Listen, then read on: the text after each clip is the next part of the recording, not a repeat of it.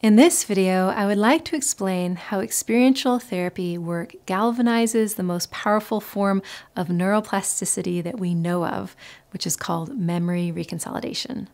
So to do so, I will go over the four core elements that all experiential models share and discuss how these elements work to pave the way for memory reconsolidation and thereby transformational change. So let's dive in. Our field has been talking about neuroplasticity for a while now, but traditionally we've been talking about a form of neuroplasticity where things slowly shift over time. You might have even heard the phrase neurons that fire together, wire together, to capture this phenomenon where our experiences and what we practice like mold or shape our inner landscape of neural connections. Which means that over time, we can really shape our brain and therefore our responses. That by itself is actually incredibly exciting. But in recent years, we've realized that there's an even more profound version of neuroplasticity called memory reconsolidation, which actually can deeply shift a whole network of neural connections in just two to three seconds. Now, there's a lot of legwork to set this up to occur. It doesn't just happen by magic. But thanks to my mentor, Bruce Ecker, we now understand that this form of neuroplasticity likely explains what therapists have always called a therapeutic breakthrough, where a person feels stuck in one moment and liberated in the next. Now, in this video, what I'd like to describe is how experiential therapies and the unique components they bring perfectly map to what is required to unlock memory reconsolidation. You see, where regular therapy aims only for the first kind of neuroplasticity, which is actually pretty wonderful in and of itself, experiential therapy aims to add to it moments where memory reconsolidation might also occur. Which is why the results of therapies like, you know, IFS or EMDR, ISTDP, coherence therapy are often so shocking to people in terms of how quickly transformational change can happen. All right, so in the previous videos in this series, I outlined the four core components that pretty much all experiential models share.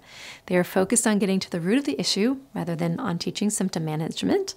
Two, they use mindfulness for self exploration. Three, there's a strong emphasis on creating safety during the work.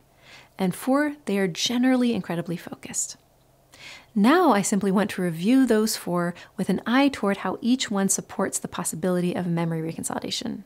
I won't explain what I mean by that term again. You can always pause and watch my video called Memory Reconsolidation, but I will start with a review of the brain's requirements for unlocking this kind of change. All right, so what does the brain require to unlock memory reconsolidation? Step one, the neural network we are wanting to change must be activated. Again, by neural network, I mean the memory that holds the prediction of danger and how to protect ourselves. And by activating that network, I mean that we actually need electricity running down the network. We need it firing.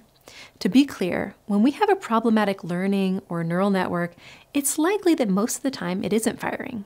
It's lying dormant. Imagine, for instance, if you have a phobia of spiders. The network responsible for that phobia would be set up to filter any sensory input for the signal that a spider is close. And as soon as that input is there, Suddenly there's electricity flowing down the whole network, and now our heart rate is up, you know, we're jumping back. But obviously, that neural network is not activated all the time, or else we'd like be jumping around all over the place. That would not be very adaptive. Instead, the network is simply there, ready to come into action when needed. By the way, all our sensory input filters through our deeper brain and the neural networks it holds before landing in conscious awareness. That is why we can have an emotional reaction before even orienting consciously to what is going on. If we could slow it down, we'd see our heart rate start increasing even before we are consciously aware that a spider is there.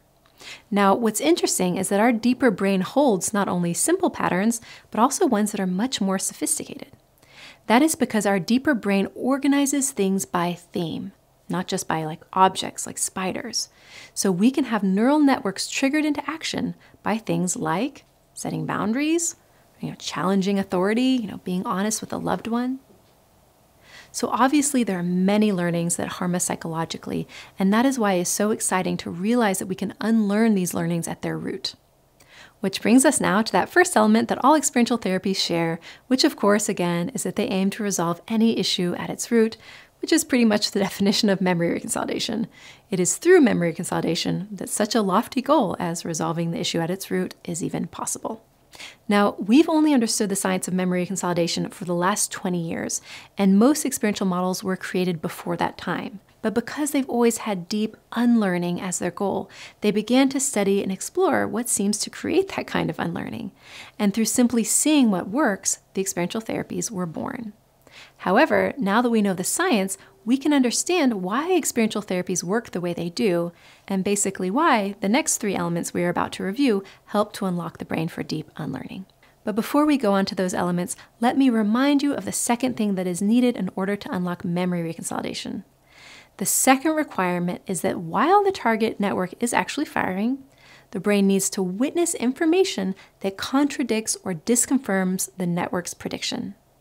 So if this network predicts that I'll be shamed if I express a need, then a disconfirmation might take the form of remembering a time I actually did ask for what I need and was greeted with warmth. That would be a disconfirmation because this experience proves the prediction or emotional learning held by the network can't be fully true. Now, usually that kind of disconfirmation is brought online through the creation of some kind of new experience.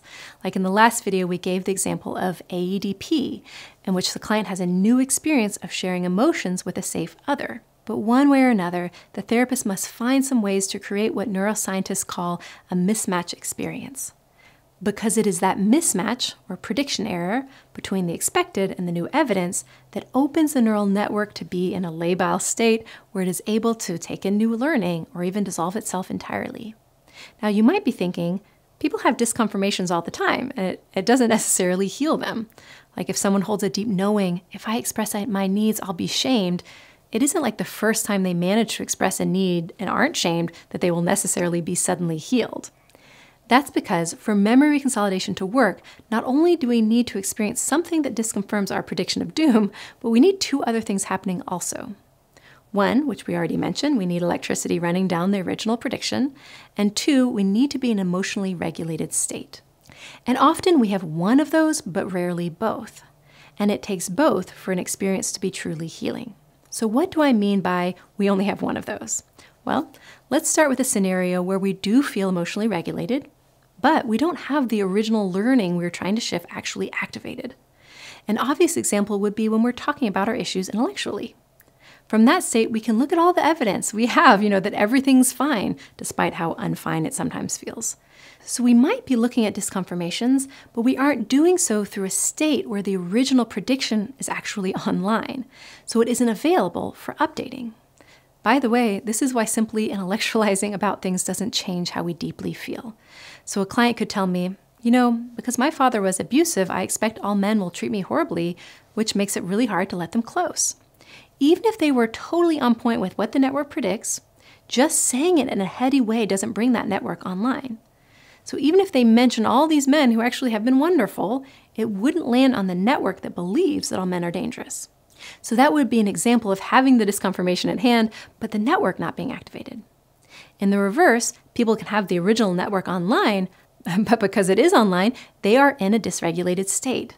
And it turns out our mismatch detection system, which is what notices the mismatch, goes offline when we are dysregulated. So even if we have all the information potentially in front of us, we can't use it for learning.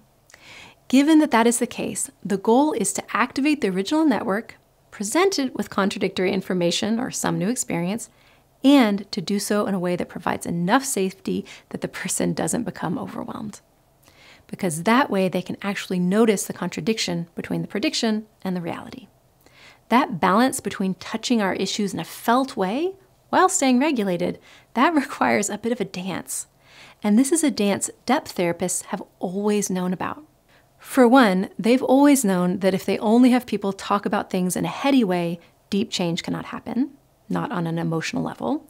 They've known that you need to get people in touch with their emotional system to have what is sometimes called a corrective emotional experience. But if you do that too quickly or without enough resources in place, they will become flooded, and that is also not a state from which learning can happen. So we've always understood that dance, even before understanding the science behind it. And that is, in fact, why people began working to develop techniques to support that dance, which ended up being the experiential techniques. That is what experiential techniques have always been about. They are tools to help us open people's ability to activate and feel into their unconscious mind, I send electricity down implicit neural networks that might be screaming about, you know, danger, while staying grounded and resourced enough to feel reasonably safe and emotionally regulated, right? Because we need to feel safe for the deeper mind to be open for learning. So, which aspects of experiential work help with this dance? Well, that brings us to elements two and three I was mentioning in previous videos that are so key to experiential work. So, let me name those again. Number two is the use of mindfulness for self exploration, and three, a sensitivity to safety. So, number two, the use of mindfulness. Mindfulness actually helps with both sides of the dance I was just mentioning. It helps open our unconscious mind so we can track and stimulate our deeper networks, and helps our neocortex stay online, which is the part that regulates our emotions, thereby providing safety. That is why so many people are using mindfulness these days, because it really helps with something called neural integration, where both the lower and upper brain can come online at the same time. That way, we can really explore imprints held in our deeper mind, which tell us about what we suffered and what we learned from that suffering, while not becoming dysregulated in the process. In the last video, I described mindfulness as giving us access to an emotional dial, so we can allow signals to flow upward from our deeper brain, but not too loudly. That is why I think mindfulness is so amazing. However, as a caveat, I just want to say it is possible to use mindfulness, or at least certain kinds of meditation, in a dangerous way. It's hard for me to call that mindfulness because I believe mindfulness is all about being sensitive and kind to our system. But there are a lot of people who hear about meditation and decide they are just going to focus their mind for hours. You know, they might even go to a silent retreat and just really dig in. When people push too hard toward breakthroughs or spiritual growth, it can actually be traumatic. So I just want to quickly name that and if anyone has experienced negative effects from meditation or psychedelics, or is like a little too much or too forceful, there are a lot of healing resources at cheetahhouse.com. But that kind of you know, militant inner focus is not how we're using mindfulness in experiential work. And that is why I want to make sure to include element number three the importance of safety as a whole separate element. Yes, mindfulness generally supports safety. It may be our most powerful tool for helping us stay regulated, in fact but we do have to remember the safety piece on its own terms as well. For one, because there are many other tools we can use to create safety beyond just mindfulness, and it's great to bring as many tools to the table as we can.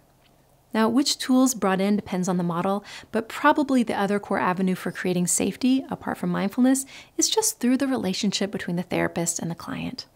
Now, some models lean more into the relationship between therapist and client as a source of safety, like AEDP, and some, like IFS, lean more into the relationship to self and the self compassion we can bring. But there's often a relational element at play, even if it's relating to God or music or nature.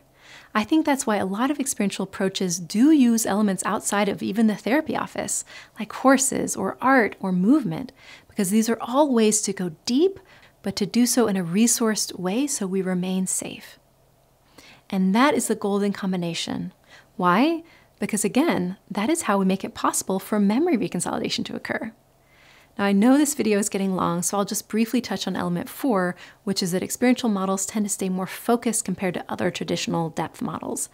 And if I was going to explain that piece in light of memory reconsolidation, it would just be to say that it is very hard to set up everything right to successfully disconfirm an old emotional learning. If we are at all disorganized in our approach or try to talk about too many things at once, or allow ourselves to get distracted, you know, we've only decreased our chances at success. We have many neural networks inside we could work with and may need to work with, but it only makes sense to work with one at a time. You really need a lot of clarity and safety in the work, and neither are going to happen if the focus gets you know, too broad or tries to go everywhere at once. That's why experiential therapists take a lot of leadership in helping the client stay on point. I'll describe exactly what I mean by on point in the next video, which will be all about therapeutic focus and will be the final video of this series. For now, I just want to acknowledge that I've covered a lot of information in a very condensed way in this series. So feel free to go over it again, you know, maybe pause when you need to reflect on something. I also do recommend working through my videos in order. By the way, if you don't know how to watch a series in order, go to my channel, but instead of looking under videos, look under playlists. Again, I have longer series on AEDP, IFS, and coherence therapy that go into a lot more detail as to how these therapies look and feel. But for this series, I really just wanted to go broad and discuss the experiential movement itself, because there really aren't any books on the subject, only books that cover particular models. And it can be very disorienting to therapists learning about one or two, but not seeing them in the context of the whole larger framework or history. So, one more video here to go. Interestingly, we'll be ending the series with how to start an experiential therapy session, specifically in a way that supports focus. So if that piques your interest, please stay tuned. Thank you so much for watching. If you are liking my content, I would so appreciate it if you're willing to like or subscribe to my channel. Thank you so much.